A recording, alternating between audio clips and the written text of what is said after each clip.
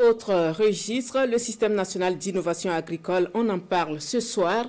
Des députés et des membres de l'administration parlementaire renforcent leur connaissance de cet outil.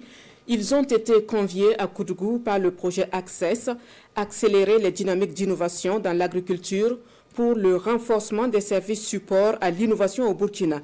Découvrons l'objectif dans ce compte rendu de Alassane Chandrabego et Mariama Tamboura.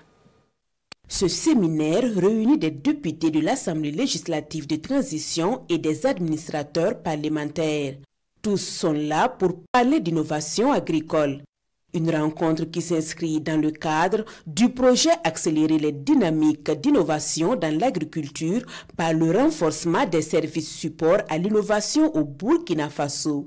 Un programme qui envisage booster le développement socio-économique. Ce rendez-vous avec les parlementaires vise à susciter leur plein engagement dans les prises de décisions en matière d'innovation agricole. Tout tourne autour des innovations agricoles. Bien utilisées, ça participe à la création d'entreprises, ça participe à la valorisation de l'individu, ça participe à la sécurité alimentaire et à la lutte contre la pauvreté. Et on oublie ceux qui participent à la législation, ceux qui votent les lois.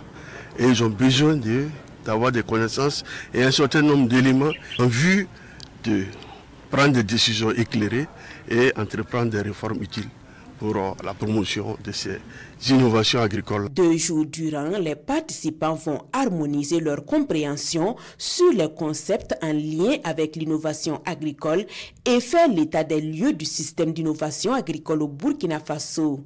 Il est attendu de ces députés et de ces administrateurs parlementaires des recommandations à même d'assurer un environnement favorable au développement des innovations au Burkina.